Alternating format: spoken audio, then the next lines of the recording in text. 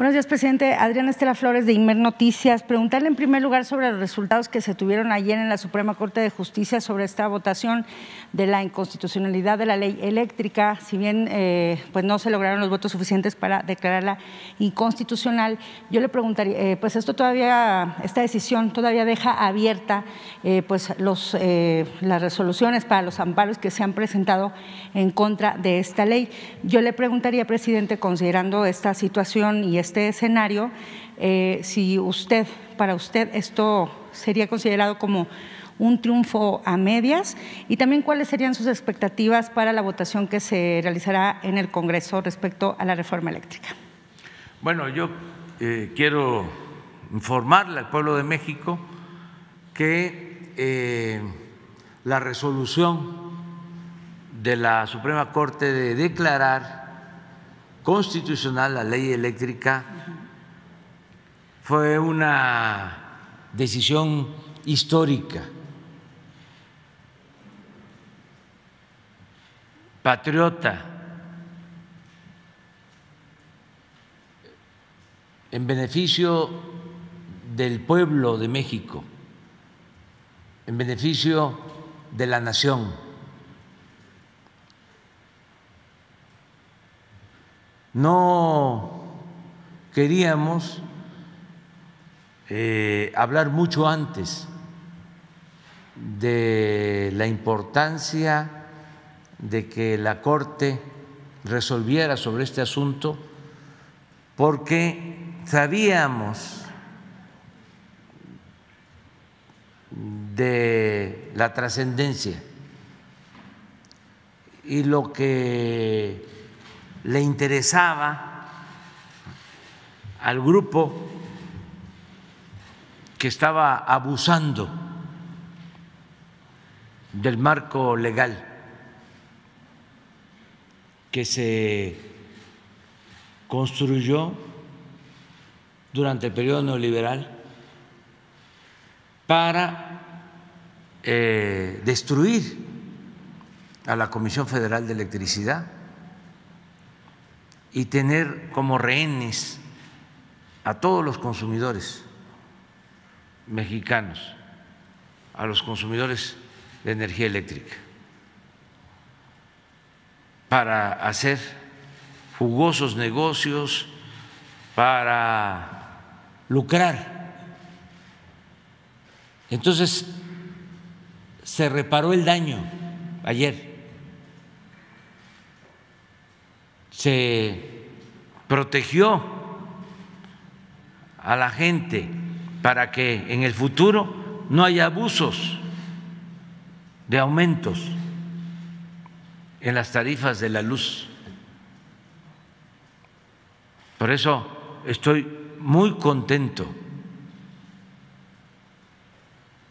Nada más les voy a poner el ejemplo de las hidroeléctricas, que en la ley tramposa de la llamada reforma energética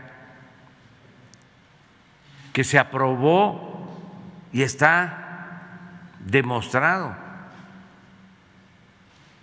con corrupción, porque le dieron dinero a los legisladores, los sobornaron pues en esa ley tramposa, fruto de la corrupción, no se consideraba a las hidroeléctricas como generadoras de energía limpia. no las despachaban, porque se consideraba, sin que lo dijeran, porque las excluyeron, como si se tratara de plantas que generaban energía con combustible o con carbón. Y la única energía limpia era la eólica y la solar. ¿Y por qué se procedió así? Porque la Comisión Federal de Electricidad tiene 60 hidroeléctricas que se construyeron en el transcurso del tiempo con inversión pública y estaban las 60 hidroeléctricas paradas. ¿Saben cuánto producían? 3% de la energía eléctrica. Porque no les autorizaban el despacho a la red, les daban preferencia a las empresas extranjeras. Por eso inundaron dos veces a Tabasco, dos veces. Porque como no, eh, no turbinaban, estaban los vasos llenos, no les permitían turbinar. Entonces, venían las temporadas de lluvia y con huracanes ya no les quedaba más que soltar el agua de manera exagerada, en grandes volúmenes, y a inundar los pueblos. ¿Y por qué mantenían siempre llenos los vasos? Porque no turbinaban, no les permitían subir la energía a la red para darle preferencia a Iberdrola y a las empresas extranjeras. Pero imagínense al ganado de inundar pueblos por la ambición al dinero, por el lucro. Hablan de derechos humanos y violan derechos humanos por dinero. Entonces ahora esas hidroeléctricas van a poder generar, ahora con todas sus turbinas, y es una infraestructura de la nación, ya no se causa ningún daño porque están hechas. No es hacer nuevas presas, es utilizar la infraestructura que existe, el agua que ya se tiene, es producir energía limpia, barata, del 3% se pasa de inmediato al 10%. Y con los planes que tenemos de modernización de las hidroeléctricas, con turbinas modernas, que con la misma agua generen más energía, vamos a llegar hasta el 20% de generación de energía limpia. Claro, tres veces más que lo que producen las empresas particulares de energía limpia y que solo utilizan de pretexto o de excusa o este, de pantalla el que les importa mucho la energía limpia. Mentira. ¿Cuánto se produce con eólica o solar? Ni el 10% de la energía que se requiere. Todo lo demás es energía que producen las particulares con gas. Y tenía la producción de energía de gas preferencia para el despacho. Estaba arriba de las hidroeléctricas. Primero, las de gas. ¿Y por qué? Porque eran las de, o son las de las empresas particulares. Entonces avanzamos mucho, mucho. Soy muy contento. Además, eh, fue una muy buena decisión que demuestra que hay un auténtico Estado de Derecho, porque no fueron todos los ministros, fueron los que eh, decidieron que era constitucional la ley. Ahora viene la reforma constitucional, pero ya, la verdad, con lo que se logró ayer, eh, se nos alivianó la carga. Eh, ya con lo de ayer podemos sacar adelante a la Comisión Federal de Electricidad, rescatar esta empresa pública y mantener, mantener el compromiso de no aumentar el precio de la luz. Fue por eso un triunfo. Hay quienes apostaban a favor de las empresas, lo que hubiese significado cancelar la posibilidad de controlar el precio de la luz. Si no se hubiese logrado lo de ayer, eh, las empresas iban a aumentar el precio de la luz. Lo que está sucediendo en Europa. Le acaba de avisar ayer el gobierno de Argelia al gobierno de España de que les va a aumentar el precio del gas y van a aumentar el precio de la luz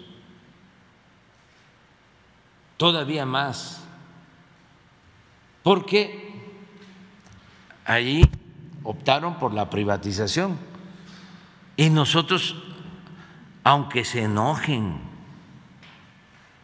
los conservadores, tenemos que poner por delante el interés público, el interés de la nación.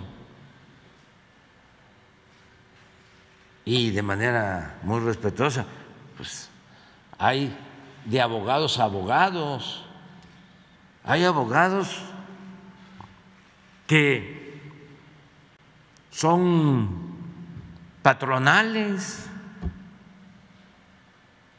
defensores de empresas, pues está bien,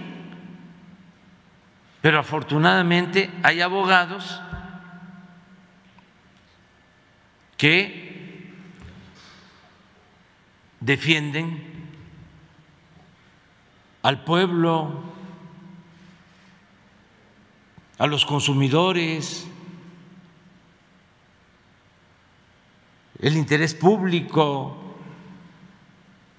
Por eso, felicitaciones a los ministros, ministras de la Suprema Corte. ¿Qué viene con la reforma constitucional? Eh, tengo la información que ya la semana próxima se va a votar, pero eh, decirle a la gente que estoy eh, más tranquilo, porque este, ya con lo de ayer eh, salvamos a la Comisión Federal de Electricidad y garantizamos que no aumente el precio de la luz. Sin embargo, tenemos también otro plan. En el caso de que, porque como se decía en los tiempos de Álvaro Obregón, están los cañonazos eh, a todo lo que dan, cañonazos de todo tipo, andan ahí torciéndole la mano, torciéndole el brazo, eh, a todo el que pueden y a todo el que se deja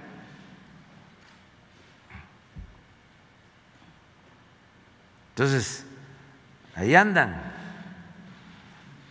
los tengo bien fildeados, como se dice en el béisbol. Pero ayer se resistieron fuertes presiones en el Poder Judicial. Estuvieron los ministros sometidos a fuertes presiones. ¿De quiénes, De intereses creados, de los que no querían. ¿Empresas, políticos, presidente? Eh, de todo tipo, de todos lados. ¿Gobiernos extranjeros también, presidente? Sí, ya hablé de eso. Y en el caso de la este, reforma constitucional, lo mismo. Ahí andan este, haciendo lobby, le llaman, sutilmente. Pero también les digo a los legisladores, que lo piensen, porque se van a exhibir como traidores a la patria. Que lo piensen. No es una amenaza, ni siquiera una advertencia. Es hasta una recomendación de buena fe es un consejo. Desde luego, sí se asumen como representantes del pueblo. Si no han internalizado de que son representantes del pueblo, o no les importa, o eso nada más lo tienen por encimita, pues este contra el cinismo y el cretinismo, no hay nada que hacer. No hay nada que hacer frente a la hipocresía, pero no está de más, a nadie se le debe negar un consejo. Si este, deciden no votar, por la reforma constitucional, que sepan que nosotros ya con la decisión de ayer tenemos la protección básica que nos importaba. En el caso de los amparos, eh, de los interpuestos, con lo que se resolvió ayer, la mitad en automático quedan improcedentes y los más importantes. Los más importantes. O sea, ya avanzamos. Ahí se va a ir sabiendo eh, poco a poco. No hay, porque no tenía razón de ser, no hay nada que preocuparse, porque también ayer se definió de que la ley eléctrica, la ley que se validó como constitucional no afecta el tratado de libre comercio. Eso también quedó claro ayer. Incluso en ese caso ni siquiera fueron los cuatro votos que se necesitaban, fueron más. Entonces, eso está resuelto. Y en el caso de que eh, impidan la reforma constitucional, que puedan más los legisladores que representan los intereses creados. En ese caso, también por los que están detrás, que sepan que de todas maneras no van a poder disponer de litio, porque de eso no se habla, pero eso les importa mucho a los que quieren apropiarse de este mineral estratégico. Si se llevara a cabo una traición, tenemos el recurso de la reforma a la ley minera, que no necesita de dos terceras partes, que es mayoría simple, y tendríamos los votos para que el litio sea un mineral de la nación, de los mexicanos, que no se estén haciendo ilusiones, que no estén pensando de que ya este el litio va a seguir estando en el mercado. Y expuesto a que se apropien de este mineral estratégico. Porque dependiendo de lo que se resuelva la semana próxima, eh, va a ser eh, la decisión que vamos a tomar si enviamos una nueva iniciativa de reforma a la ley minera o no, dependiendo, solo para el caso del litio. Y se necesita la mitad más uno. Y esos legisladores están eh, dispuestos, así lo han expresado, a eh, votar para que el litio sea un mineral bajo dominio de la nación. Y también por si están pensando hacia adelante, igual, si la declaran inconstitucional,